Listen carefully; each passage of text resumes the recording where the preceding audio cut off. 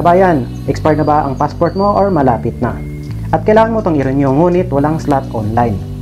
So, narito ang video kung paano ka magkakaroon ng slot online or appointment for passport renewal. Sa mga kababayan ko na nandito sa Qatar na nagbabalak mag-renew ng kani-kanilang mga passport, sobrang hirap makakuha ng slot online. Anyway guys, ang ibabahagi ko sa inyo ay base lamang sa naging experience ko sa pagre-renew ng passport dahil last month ay kaka-renew lang natin. So kung gusto mong malaman kung paano ka magkakaroon ng uh, slot, panoorin mo ang video na to hanggang dulo. At syempre kung hindi ka pa nakasubscribe sa channel na to, mag-subscribe ka na at pakiclick na rin ang bell button.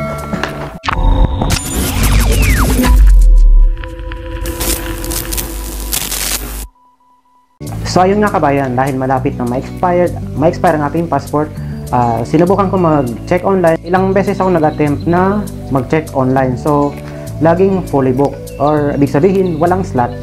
So naisipan ko mag-post sa isang uh, Facebook page dito sa Qatar. After kong nag-post, maraming mga kababayan natin na nagsabi na ganito ang gawin mo. Mag-email ka sa embassy. So kinabukasan sinubukan ko mag-email. After 5 days, nag-reply sa akin ang embassy. So ito yun ang reply sa akin. Ayan.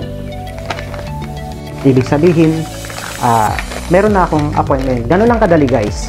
Saan nga ba mag-email? Ito yung email ng DFA dito sa Qatar. Ayan.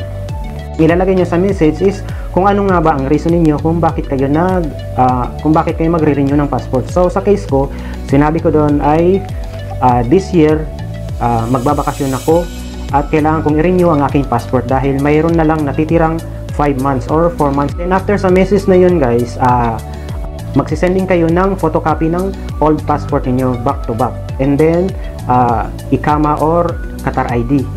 Back to back din po yon na isisend nyo dun sa email yun. At syempre, ang mobile number niyo Kasi, madalas kapag hindi nag-reply sa inyo ang embassy ay tinatawagan kayo mismo ng mga uh, staff doon. Iko-confirm nila kung uh, nabigyan ka ba ng slot or wala. Pero sa case ko guys, hindi na ako tinawagan. Nag-reply na kaagad sa akin yung embassy at oh, ganun lang kadali guys. So kabayan, sa pagre-renew ng passport ay ang bayad is 240 Qatarials. And then, uh, kapag ka may uh, slot na kayo, punta lang kayo ng embassy at uh, kayo ng papel para fill upan. Hindi naman gaano karaming fill upan. So, siyempre mag-aantay kayo ng uh, number niyo sa pila para tawagin. And then, uh, ang dadalhin lang ninyo guys ay yung uh, old passports. Uh, kapag uh, releasing ka na, ang releasing guys is uh, ito siya. Ayan siya. 4 to 4 to 6 weeks. So, sa case ko, hindi, siya mabot ng 4 weeks or 6 weeks.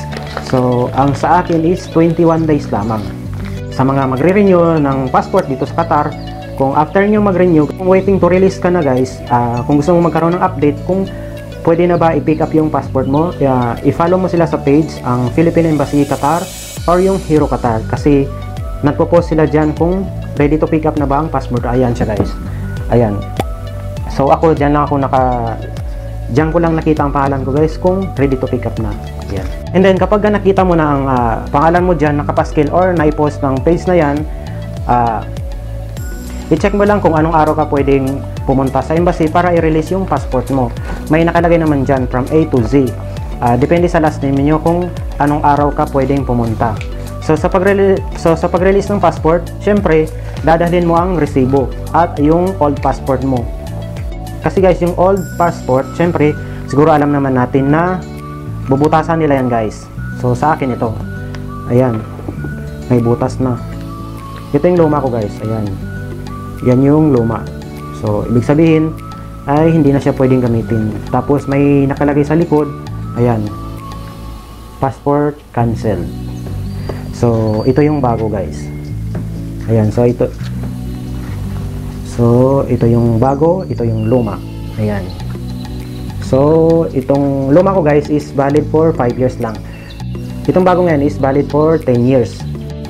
So, yun lamang guys at uh, sana nakatulong ang video na to sa mga kababayan natin dito sa Qatar na nahihirapan uh, makakuha ng slot uh, on ng slot para sa passport renewal. So, yun lamang guys. Uh, maraming salamat at mabuhay tayong mga OFW saan man sulok ng mundo. Yan. Maraming salamat and don't forget to subscribe and click the bell button.